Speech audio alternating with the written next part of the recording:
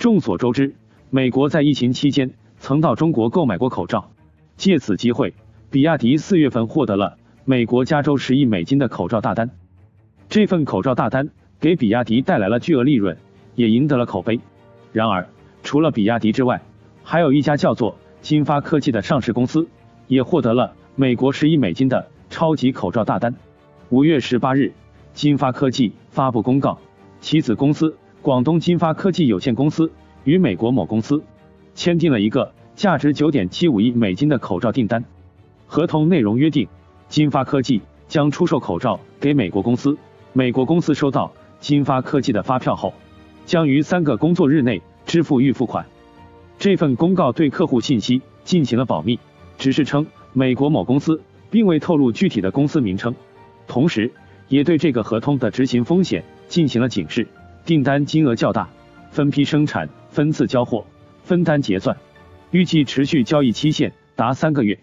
同时，客户受疫情或市场影响因素，后续可能提出调整或取消部分订货，以及修改发货时间等。总之，这份公告给人的总体感觉就是不太靠谱。这里介绍一下金发科技，它是一家改性塑料的化工企业，也是业内的龙头企业。二零零四年六月二十三日，在上海证券交易所上市。疫情爆发以来，金发科技也抓住了机遇，参与了聚丙烯和口罩的生产。这些新业务让金发科技大赚了一笔。财报显示，二零二零上半年，改性塑料贡献的营收达九十二点四八亿元，占总营收的百分之五十四点六。其中，金发科技的医疗健康业务，便是口罩、熔喷布。于二零二零年上半年贡献了十六点三亿元的营收，口罩熔喷布的毛利率高达百分之八十二点八八，堪称暴利。据财报显示，金发科技的口罩类产品共销售三点九二亿只，销售区域包括六大洲、三十多个国家和地区。二零二零年半年时间，金发科技净利润二十四亿，比去年同期增加了将近十九亿。与大部分公司受疫情影响。业绩下滑相比，金发科技的业绩放在 A 股市场也算得上非常亮眼。金发科技公布了十亿美金大单当天，股价跳空高开，随后拉上涨停板。然而，没过几天，围绕这个大单出现了一系列的怪事。金发科技发布公告后五天，这个大单就出现了问题。五月二十三日，金发科技又发布了关于子公司。签订特别重大合同的进展公告。公告表示，美国公司收到发票后，因资金归集及大额支付流程，订单金额百分之四十的前期款项支付将稍微延迟。合同是签订了，但预付款没有收到，这个合同就更加让人生疑了。接下来又发生了一件奇怪的事。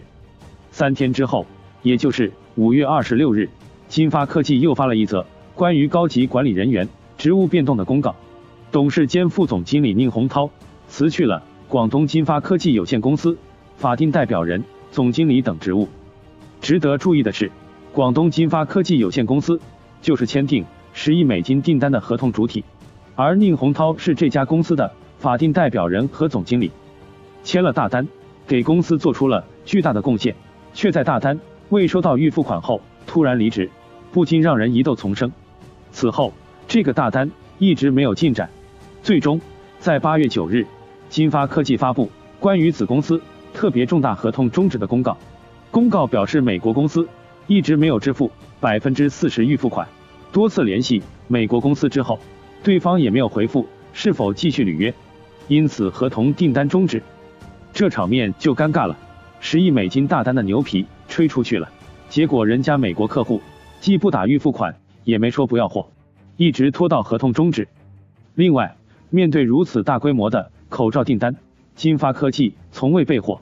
八月十日，金发科技相关负责人表示，这笔订单严格按照合同进行，但因对方未支付首期定金，目前订单尚未开始生产。有投资者质疑，一份还未支付定金的合同没有约束力，随时可能取消。上市公司将这样的合同公之于众，是否有？操纵股价的嫌疑，然而这的确让人生疑。签了一份大合同，发公告居然连交易的对手都一直未公布。发票开出去之后，客户一直不给预付款，立了大功的子公司总经理又突然离职，这么多怪事联系在一起，不禁让人遐想，这份合同是否真实存在？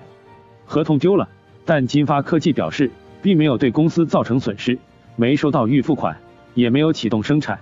虽然钱没有赚到，但股价起码是实打实的涨了起来。受十亿美金订单的利好消息刺激，金发科技的股价由发布消息时的十三元最高上涨到十九点一三元，此后便开启了慢牛行情。五月十八日至八月十日期间，最高涨幅一度超百分之五十八点八，二零二零年以来的涨幅更是高达百分之一百三十一点四。由此看来，该订单。还是让金发科技受益颇丰。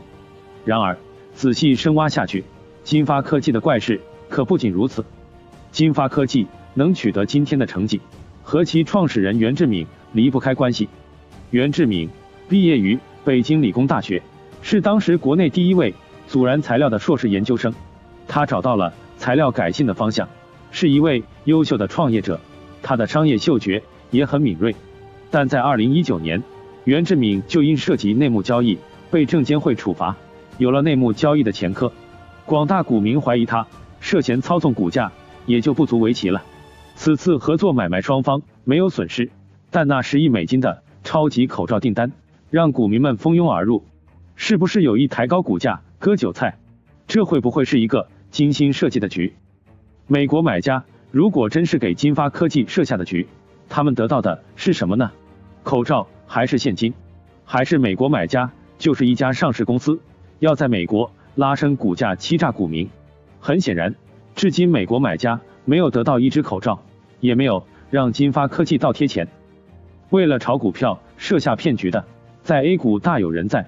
最典型的莫过于航销钢构。曾经航销钢构籍籍无名，但股价就是不断的暴涨。为什么呢？因为航销钢构当时声称。